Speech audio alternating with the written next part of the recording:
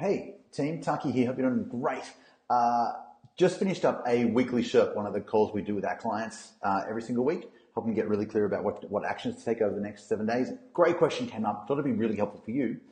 And uh, so while I'm here at the computer in the fishbowl today, I thought I'd record a quickie on quickie for you about uh, how to shrink down session time and stop sessions from going overtime. So, a great coach on the on the session today asked me, I've got this client, I've got a call with him later today.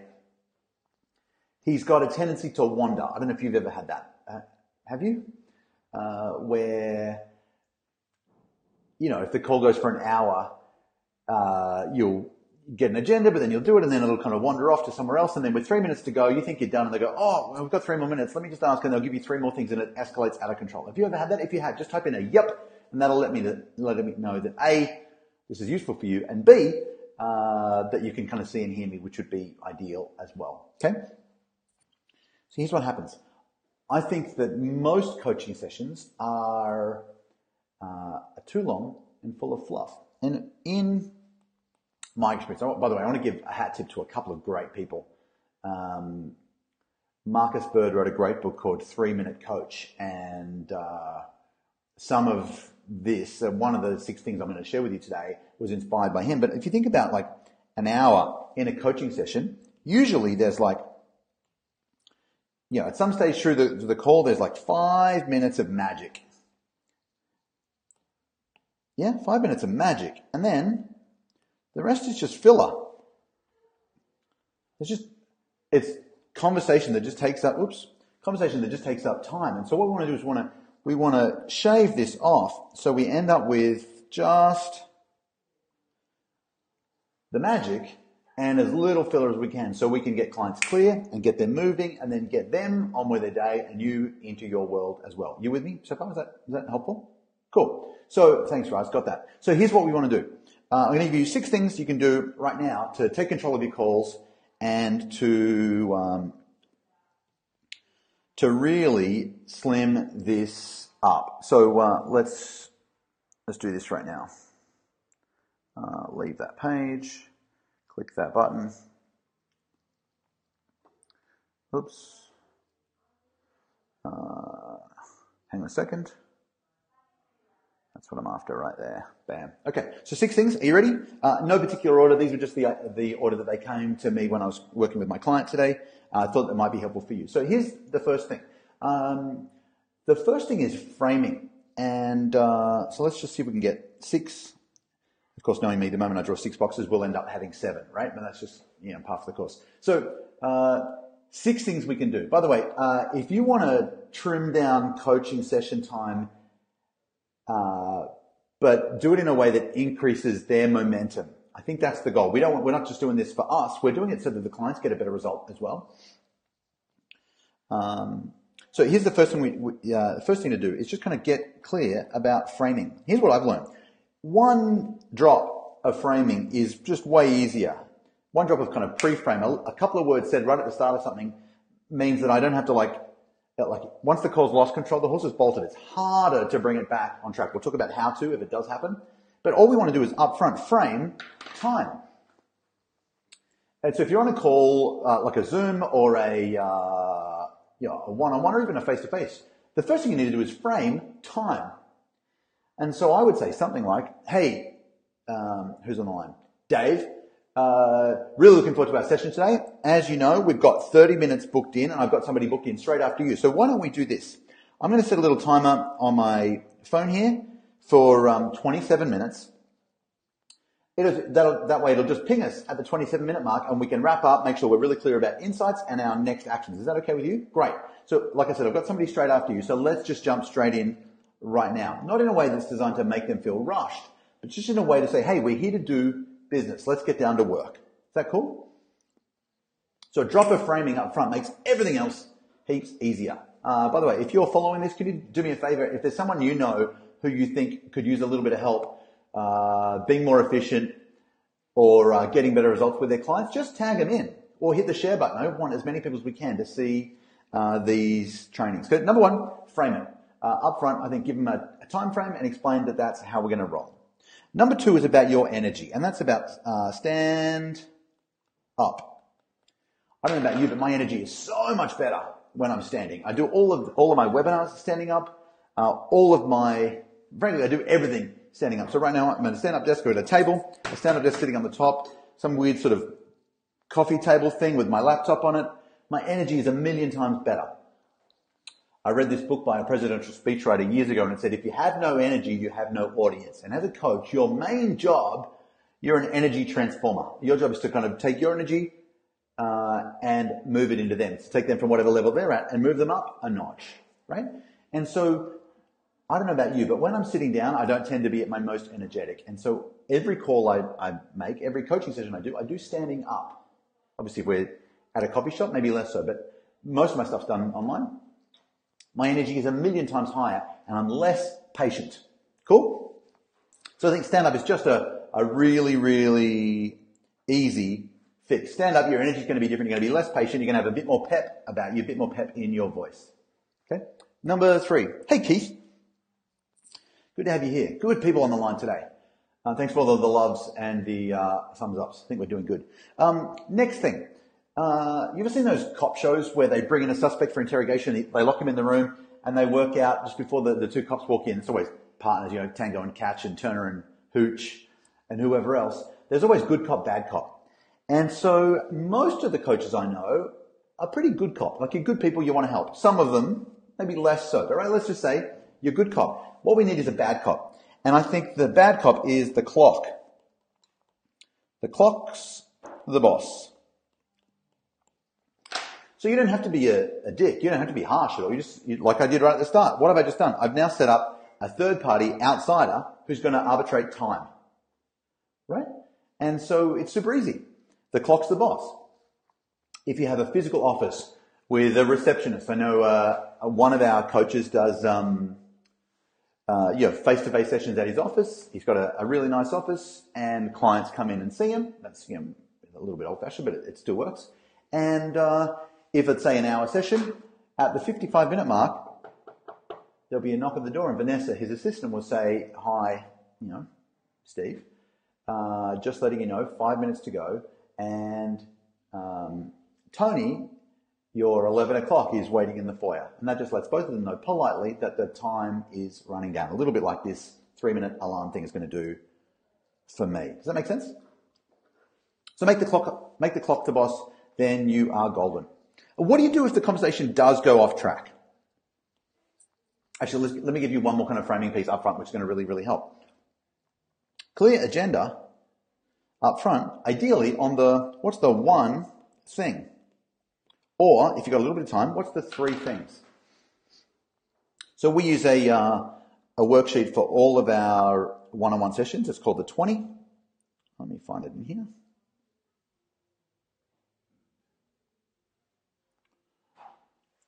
And so sometimes if I'm on a call with a client, I'll have this up on the screen and we, will check in and we'll get the, so by the way, one way to make your coaching sessions efficient is to follow a framework, right? Now we look at past, uh, but in a way that moves us forward. It's all about momentum. Uh, what are your wins and why do they matter? Then we look at the, the current situation, which is about getting people unstuck. And then we look at the, actually, let's make that yellow.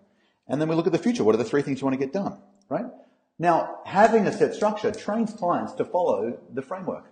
When we get into the focus bit, great. So what are the, you know, what are the one or two or three most important things we can focus on today? And then what order would you put them in? Great and then just tick them off as you go. Is that cool? So I think next up is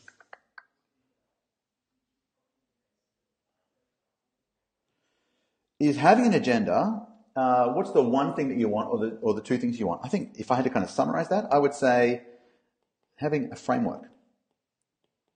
By the way, if you want a copy of the 20, the framework that I just showed you, the one that we use to coach our clients, um, just comment the word uh, the number 20, 20. It's called the 20 because it's helped us take our coaching sessions down from an hour to 20 minutes and have clients just incredibly focused and uh, super, super pumped. So if you want a copy of that, just type in 20, 20 and I'll, uh, I'll hook you up, okay? Um, okay, so uh, have a framework. Next up, what do we do? Well, what do you do if a conversation starts to go off track? I learned this from a, a great coach years ago. His name's Roland, uh, Roland Hanekroot. And uh, he had this really lovely language that allowed him to bring any conversation back on track whenever he wanted to. At the start, he set up this frame. He said, uh, in my coaching, I know that there's two kinds of conversations we can have. We can have conversations which are useful or conversations which are just interesting. Uh, I'm your coach and so when we're coaching together, let's agree to only have conversations which are useful. Is that okay with you? And everyone says, yeah, yeah, that sounds great. So the moment they start wandering, talking about something else, you go, hey, that's really interesting. Uh, let's just pause right there. Uh, is that is that a useful topic for us to talk about, or is it just interesting? And they go, no, no, you're, you're right. It's just interesting. Okay, great. Well, let's get back to what's useful. And that just having that really simple, useful versus interesting framework is just a great way to bring people back on track. Another thing that I'll often ask when somebody gets into story, I'm like, that's great. So what's the actual question? okay, let me just pause you right there. That's, that's I mean, you don't have to be rude about it. okay, that's really interesting. Uh, what's the actual question? Right? And that just forces them to ask you something that then you can reply to. By the way, my coaching is quite directive. I'm not, uh, I don't believe that the client has all the answers all the time. Often you do. And so it's totally okay to lead the client when the client needs to be led. Good so far? I think the third piece, uh, sorry, third, one, two, three, four, five, the sixth piece, the last thing is going to be an absolute killer for you. And by the way, thanks guys. I saw this, uh, your notes there for the 20. If you want to copy, just type in 20 and I'll hook you up. Um, I think, I, I, said this right at the start, that most coaching sessions uh, are full of fluff and filler. Like if that's the hour on the clock, there's probably like five minutes of magic. Yeah, I'll be generous. Maybe there's more, but let's call it five minutes of magic. And the rest of the time is just filler. Right? And so what we want to do is we want to get rid of all the filler. There used to be this, this product, I, I guess they still sell it. Uh, used to be this product that they'd sell on TV called space bags, where you'd put all of your, your clothes, your laundry, and your uh, doonas and stuff, blankets, into this plastic bag, and then vacuum out all of the fluff, all of the filler, and it'll take something this big and shrink it down to that, just to its essence. That's what we want to do. We want to space bags your coaching sessions. So let me give you a, a model uh, that's a secret weapon for a bunch of our clients. Uh, again, credit where credit's due. If you ever get an idea from someone else, you should credit that person. So this idea was inspired by a great client of, of ours called Marcus Bird. And uh, so if you take the, the framework I just showed you, the 20, you'll be able to do a great coaching session in 15, maybe 20 minutes. Let's call it 15. Okay? So here's the frame. You tell your client uh, that, you know, in our next session, block aside an hour. We probably don't need the whole hour, but let's just block it out uh, in case.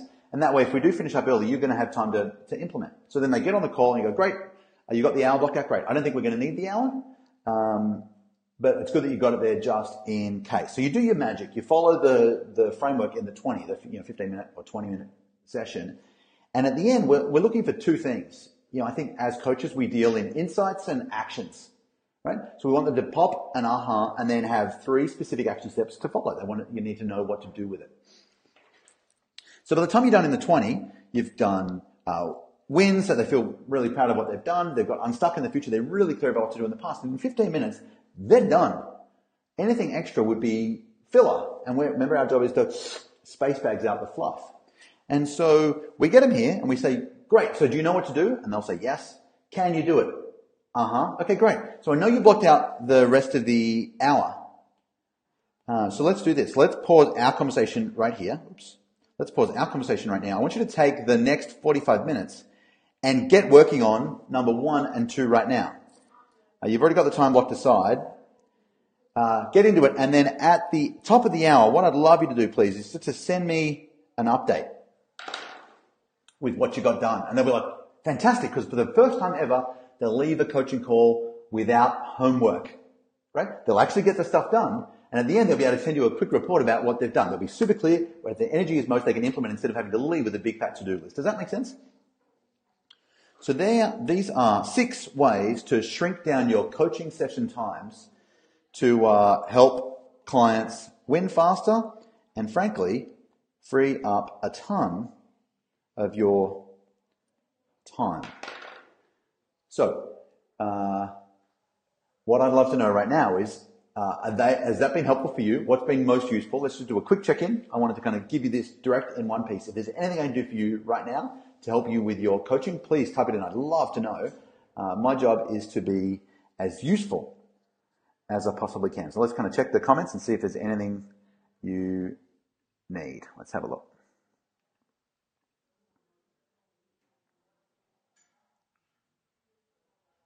Hey guys, lots of uh, haze, lots of people asking for Hooch was bad cop. Yeah, totally was. Thank you.